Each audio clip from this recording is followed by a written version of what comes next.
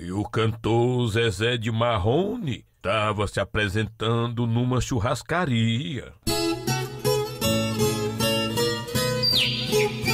Não cantem comigo!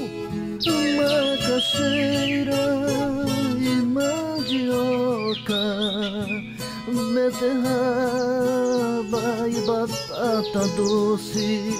Ei, Marchei! Ah, o que foi? Por que tua música é esse negócio de macaxeira, mandioca, batata doce? É porque eu só canto sertanejo raiz. Macaxeira e mandioca